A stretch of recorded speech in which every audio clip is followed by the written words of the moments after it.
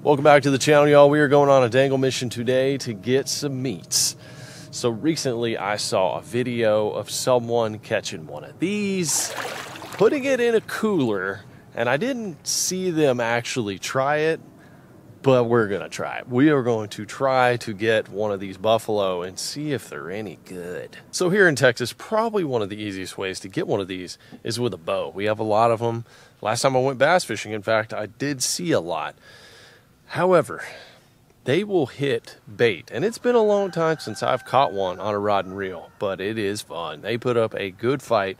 So we are going to attempt to try to make some bait and then catch them on that bait, put it in the cooler, and see how these things taste, man. I don't know. I don't know about it. Quick chicken check on our way out, guys. We lost a bird. We lost a chick. I don't know. I don't know what happened to it. I just counted today and we got seven. Had eight the other day, so I don't know. Something got one. All right, y'all. I think we got all the tackle that we need. We'll go through it when we get to the water. But first up, stopped at our little local gas station. Got ourselves a loaf of bread. This is uh, honey wheat, Nature's Own honey wheat. I want a lot of gluten in here. I want this thing to be sticky. Oh yeah, good stuff. Don't get any of that organic, natural stuff. That'll just fall off the hook. You want all the, you want all those things that aren't good for you because it sticks to the hook. And I got me some, I got me some bug. This is actually called bug juice. This is called bug juice. I mean, first ingredient, high fructose corn syrup, concentrate grape juice, you know, yellow, blue, red number, all of it questionable if it's actually got vitamin D or vitamin C in here. But the point is, this stuff is uh, is real sticky, and I'm gonna put this with the bread. I've been scouting for the last 10 minutes, just driving around in a park. And I think I found a good area. So last time I was here in my boat, I actually came by this spot, and on on the side imaging and on LiveScope, I saw a lot of carp a lot of carp and potential buffs out in here. So right out here in the middle, I haven't seen anything cruising. Lots of bluegill beds, but nothing cruising around that I could get with the bow.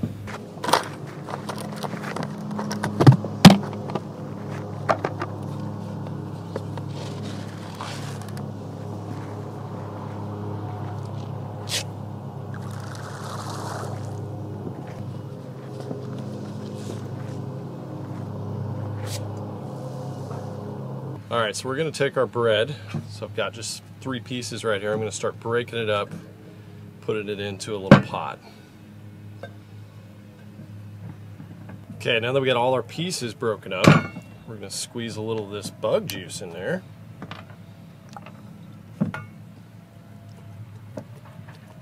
Don't want to get it too saturated. I'm gonna put a little bit in at a time. I'm just gonna start mixing and smashing. Preferably do this the night before, put it in the fridge. And what you want is just a big gooey ball of bread. Okay, yeah, this is about the consistency that I want. There's, there's no liquid in here, all right? Smell that high fructose corn syrup. Just wanted to get it where it's nice and uniform, doesn't have any big cracks in it. And we can hydrate with our juice from there. All right, now let's get some rods rigged up. And this is a medium powered rod. You want something kind of light because these fish have a very soft mouth. And you want to be able to uh, compensate for that. You don't want to rip into them. They're pretty sneaky the way they suck this bread in. And they're also pretty smart. Take some 10 pound mono. And then we're going to grab a small hook. You want a small hook for this a finesse hook. This is literally like a drop shot or wacky rig style hook. Something they can suck into that little tiny mouth. Even though they're big, they got a small mouth. It's probably about two foot of line.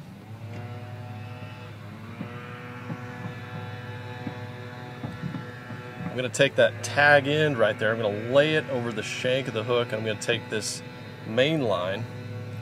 I'm just going to wrap it probably about 10 times around the hook shank over that tag end.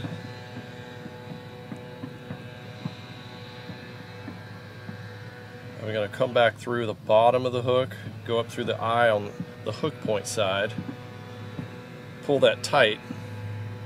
Now that's a, a snelled hook. The reason snelling is a good idea is it will sort of turn that hook for you. Fish grabs it, so all right. Now we got our two rigs good to go.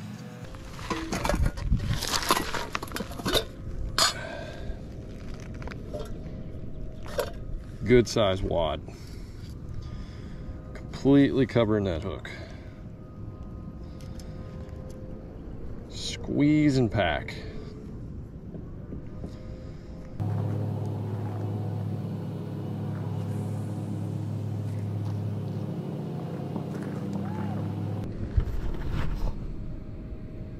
God, just got slammed right there. Probably took my bait. Oh my gosh.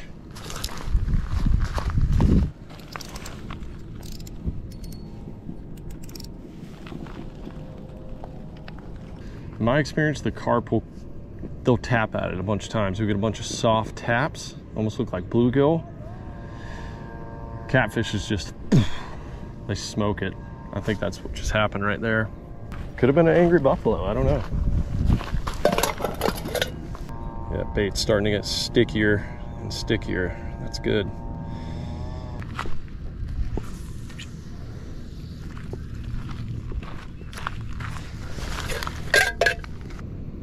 Just saw my line slowly move, look like a carp bite.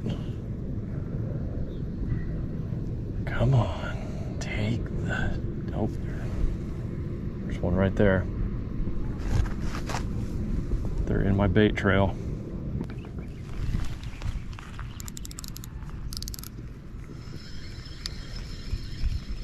It's happened to me twice now where my line just gets smoked and I come up with nothing. So I'm gonna switch spots.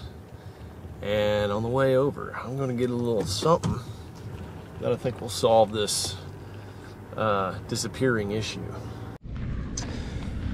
Alrighty, fishing freaks, new locale.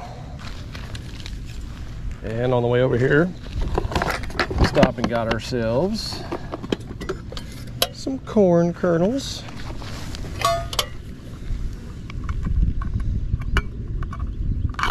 So I'm gonna put me a few kernels on. Go ahead and just kind of get the juices flowing.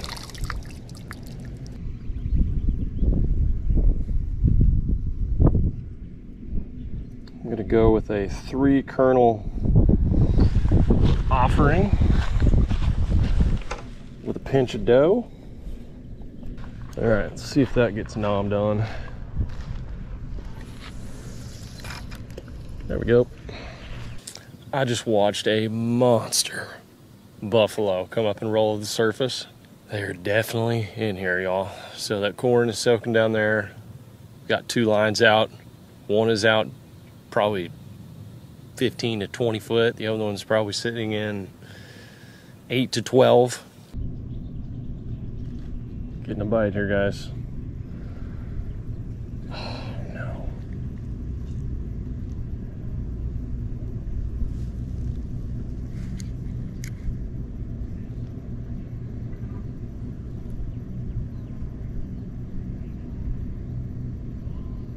Still getting bit. Definitely feels like a carp or buffalo bite.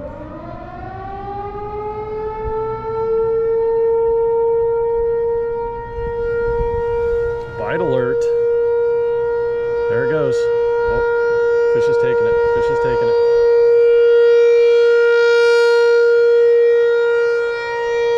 We got him. We got him. There we go. Fish on.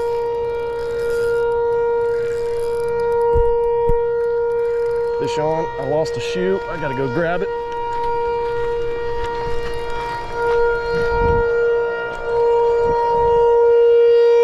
Oh my gosh.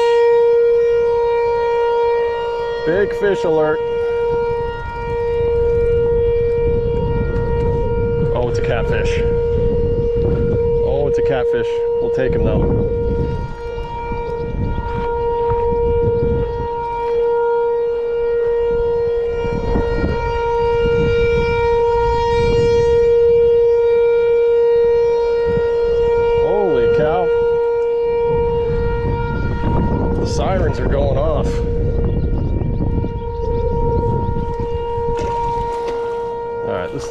Swallowed. Well, I definitely am not gonna let that fish go.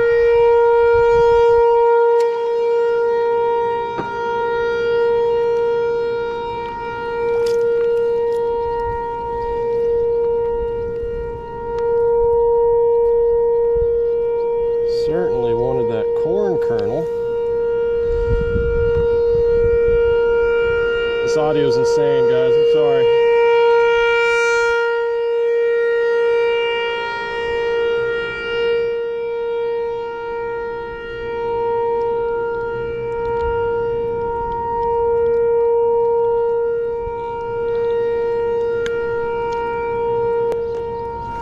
All right, guys, I'm gonna go throw this in my cooler and I'm gonna grab some more tackle. Whew.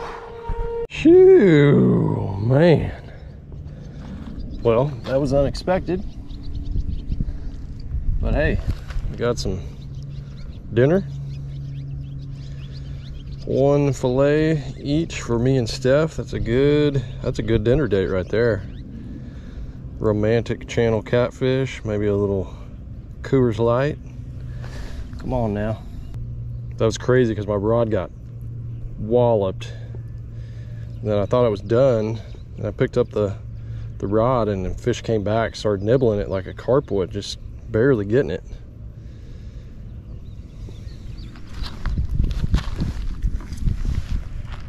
All right, we'll go back to that same hole.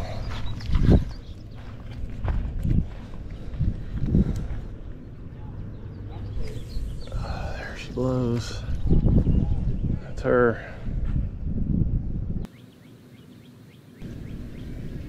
Just got bit, bit on the fresh corn. Come on, baby. That one was just getting bit, just little taps. I think that's carp. Just takes one, y'all. Just one good nibble, and we'll have five pound fillets, hopefully. That's all it takes. I'm sweltering out here. 97 degrees. Trying to catch a buff. Holy crap, guys, there's one right here. There's one right there feeding.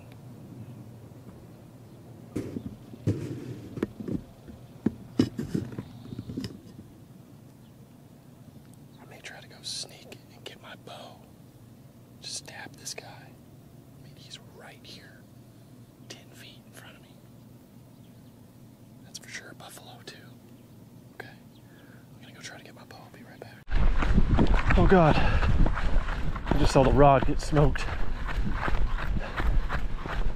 Rod got absolutely smoked. All right. See if the buff is still here.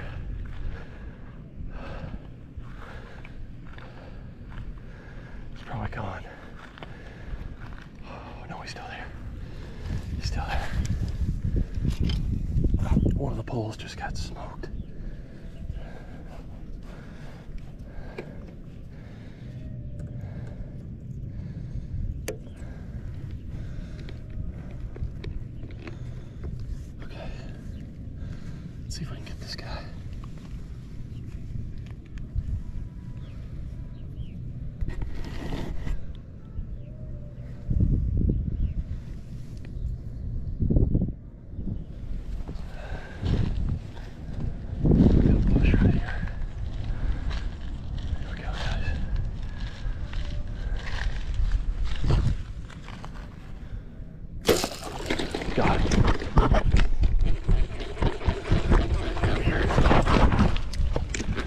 Come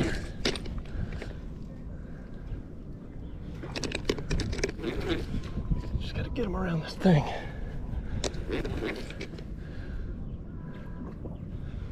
Come here. All right. Oh no, no, I don't have full penetration. He might get off. He's very close to getting off.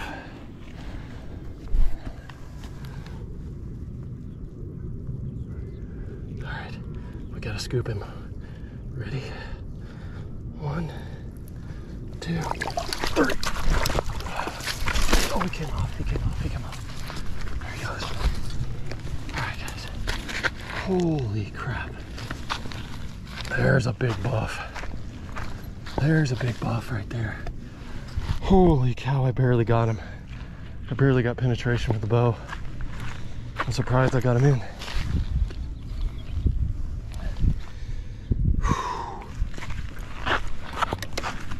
Well, guys, there we go. That completes our mission. I don't think we're gonna need any more fish than that right there. That's a huge one. All right, let's reel lines in and let's head in.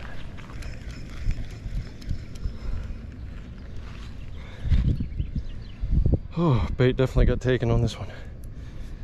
Whew. It was going off. I was running, trying to get to that pole. I said, screw it. Let me just take the bow shot and be done with it. Oh my gosh. Must have stunned that dude because he just just quit. Oh my goodness, look at this giant. Oh, that thing is bigger than my bow. I can't wait to see what the fillets look like on it.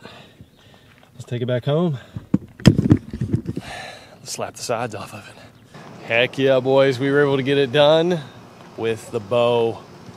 You know, I was fully prepared for rod and reel experience. I wanted to catch them that way, but I'm glad I threw this in the truck. It was so random because both those spots I hadn't seen any carp cruising around. I'd seen a couple roll out in the middle, not deep, but nothing up shallow. So I was thinking I wasn't gonna have an opportunity with a bow, but I kept it in the truck just in case. This thing just appeared out of nowhere right in front of me, and I was it allowed me to run all the way to the truck, come back, and get it.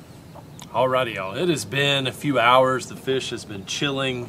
I'm gonna let that meat firm up a little bit. It's always easier to clean. This is the moment of truth right here.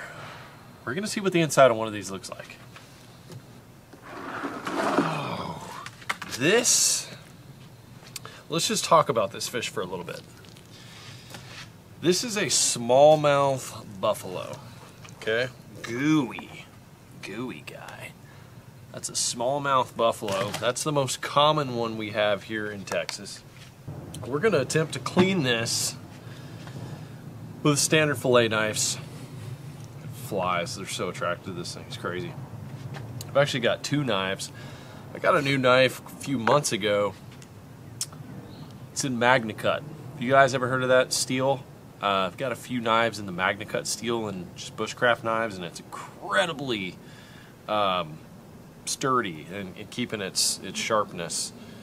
So I'm gonna see how it's gonna do with this thing. But it, honestly, this thing is so big that yeah, I almost need a sword to clean it.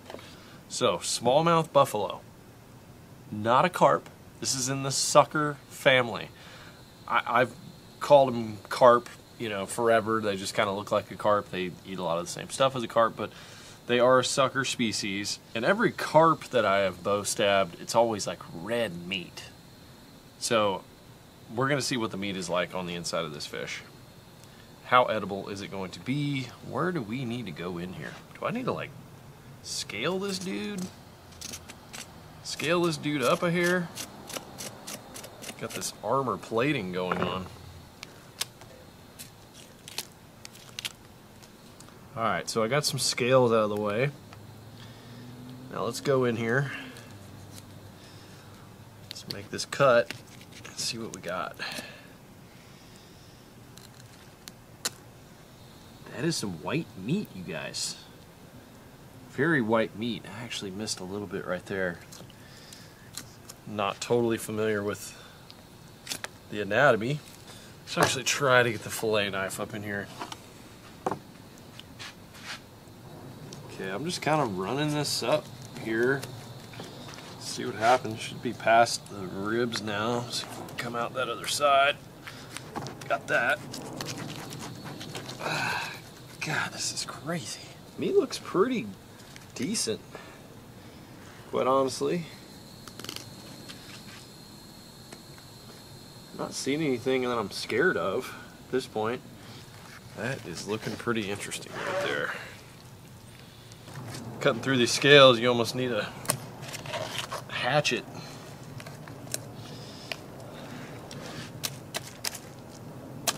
There we go. All right, this is sort of difficult to get this off of here properly with the size knives that I have here for crappie and catfish. Let's see if we can get this piece off here. The, it's weird, the belly meat actually looks really good. Now there's some red on the back. You guys can see that. This is one of the weirdest things I've ever seen when cleaning a fish. I got this belly meat and it's twitching in my hand. Uh, this fish was dead. It's almost like there's two different, or a couple different categories of meat. This is, that's very interesting. The belly meat looks very good. Now we get into midsection of the fish here. I'm feeling bones. Feeling lots of little pin bones. That's not fun. That's not what you want right there. This fish obviously requires some extra techniques. So right off the bat, I'm gonna give it a low score for that. This meat is just flat out full of dang bones. They are a bony, bony fish. All right, there is a small section not full of bones. We're done with the fish. I just want to show you the edge because the MagnaCut definitely got dinged chopping through those bones. Rolled the edge over right here. It's pretty dull. Hi, Ben. So we're gonna need to resharpen that. So that's my first time cutting through bones with MagnaCut steel. It definitely will get dinged. Just FYI. So we're gonna mix up some seasonings. I got some all-purpose, some cornmeal. We're gonna add a little critter glitter Cajun in here. Spice it up. There's not enough, I feel like, to bake. So we are gonna go to the fry. All right, let's add our fish. I'm most excited about these belly meat pieces. I honestly think those just look fantastic. So I'm gonna get those out first. Look at that big boy right there. All right, we'll put those in and shake it.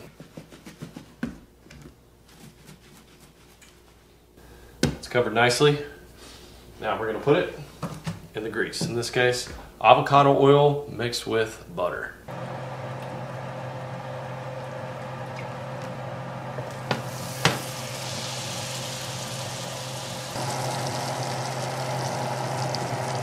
All right, fishing freaks, let's get it popping. Go. Pop the next one in here.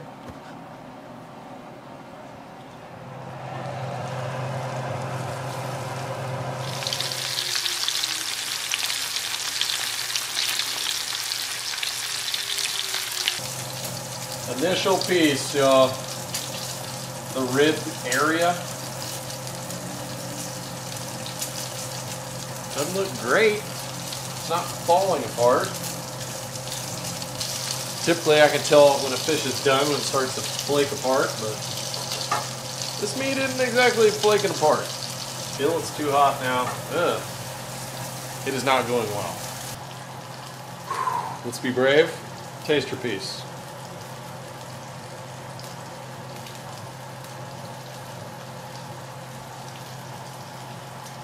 Oh, it's like chewy. It's scary. Ah. Okay, I'm gonna deem that not edible. This belly meat is so chewy, it's like a scallop. Yeah, nope, can't do that. It's very smoky in here. Oh! Yep, there she blows.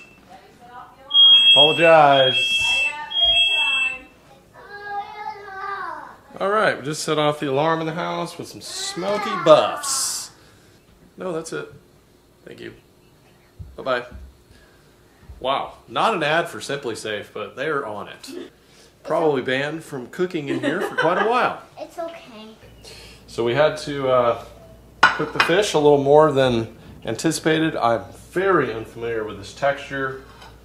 Here's what I'm gonna say about the final product and the initial product. Probably the worst fish that I've ever had to deal with. Uh, after I had cleaned it, the muscles were still twitching. When I was putting the fish in the batter, the muscles were still twitching. I don't know how you get rid of that. Uh, this thing probably needed to be on ice for a lot longer than just five or six hours. Guys, I, I don't think this is edible. All right, here's a nice golden crispy. We're gonna attempt to break it apart, and that, that's putting a lot of pressure on it. Now I'm gonna. This is a prime piece right here. Prime piece. Oh God, does not look good. Does not look good. Break open one of these bad boys. Bones all up in it. Scallop texture.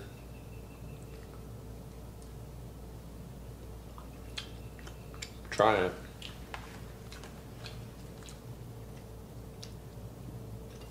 Sucks. You just break it apart, there's bones just hanging out everywhere. There's not a good piece in here.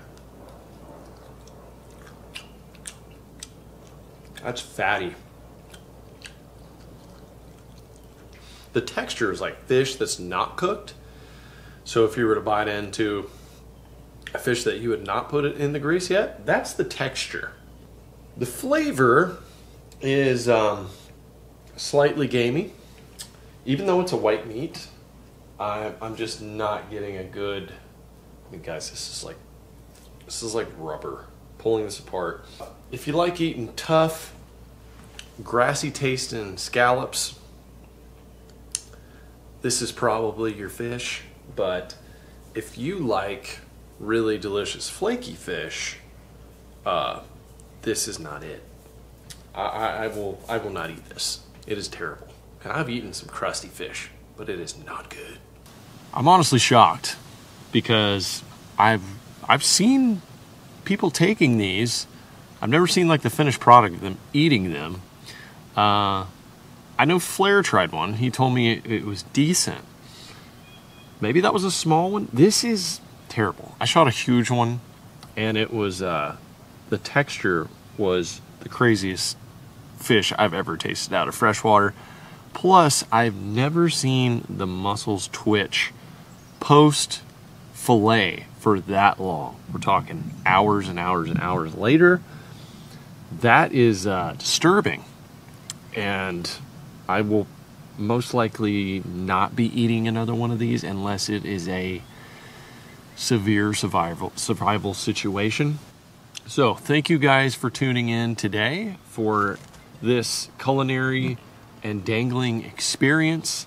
Um, I think I'm going crappie fish fishing next to make up for this because that's just right right down terrible. But appreciate you guys. Go ahead and smash that like button for the effort. And as always, I will see you on another great outdoor adventure.